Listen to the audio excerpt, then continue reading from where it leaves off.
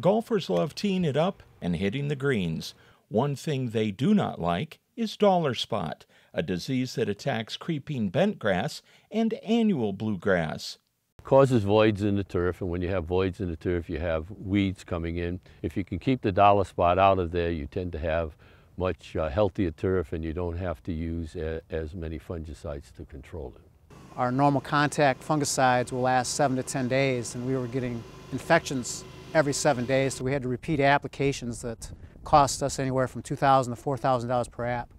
So last year alone, we probably spent more than $8,000 on uh, dollar spot control, which we hadn't budgeted for.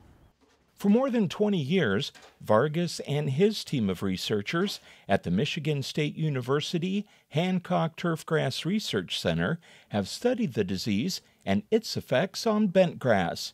And now they have released a new cultivar called Flagstick, which has shown resistance to dollar spot.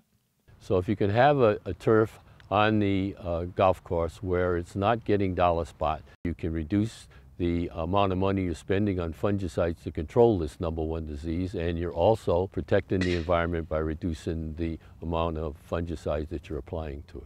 This research project is made possible due to a partnership between Michigan State University AgBioResearch and the Michigan Turfgrass Foundation.